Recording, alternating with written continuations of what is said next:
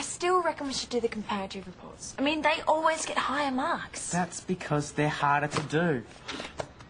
So, looks like you're outvoted, Boyd. Excuse me, miss. Yeah? Um, I need to use the bathroom.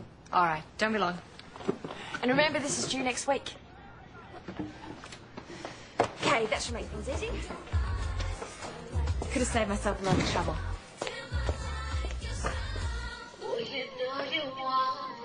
Seriously, we're living in a pigsty. You should see the dump. Yeah, my parents built an extension last year. We had to go to the neighbours just to have a shower. And same here. It's so embarrassing. Oh, you don't seem like the type to be embarrassed, Edwina. Oh, we've all got our little secrets, Jack.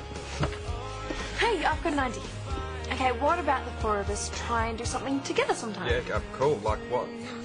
Uh, I don't know. Do you like bowling, Edwina? Yeah, I love it. And call me Addie. That's what my friends call me.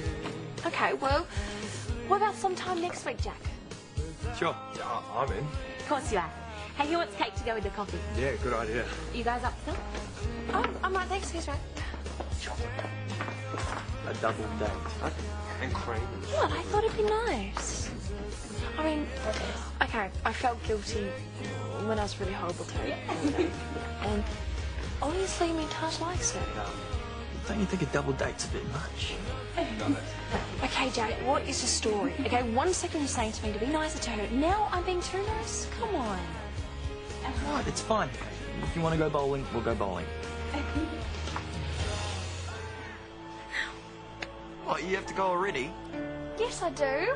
The credits have just started rolling. You're bolting for the door. No, I've got heaps of homework to do, stacks of it. Fine, be boring.